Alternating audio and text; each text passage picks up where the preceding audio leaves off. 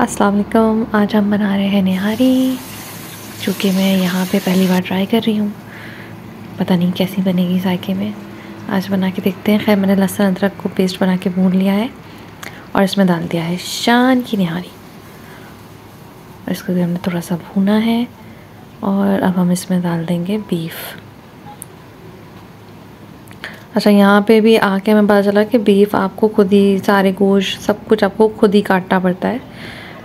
तो वो आपको बस पीसेस दे देता है और फिर आप उसकी छोटी छोटी पूड़ियाँ को अपने हिसाब से खुद कर लें। अब हमने इसमें डाल दिया पानी, अब हम इसको ढाक के रख देंगे गलने के लिए।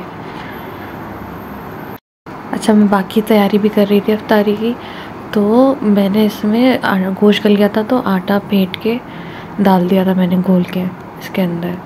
तो ये गाढ़ी गाढ़ी हो गई बस, उसके बाद उसमें प्याज और इसका एक और ट्रिक ये है अच्छी कि आप भगार के वक्त भी थोड़ा सा पैकेट का मसाला डाल दें तो अच्छा लुक आता है और टेस्टी बनती है निहारी तो आप लोग भी ट्राई करिएगा और मुझे ज़रूर बताइएगा कि आपको कैसी लगी।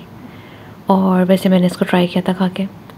ये बिल्कुल पाकिस्तान जैसी बनी थी, जायके में। चलें फिर मिलते हैं अगली वीडियो में। तब तक के लिए मुझे अपनी दुआ में याद रखिएगा। अल्लाह हाफ़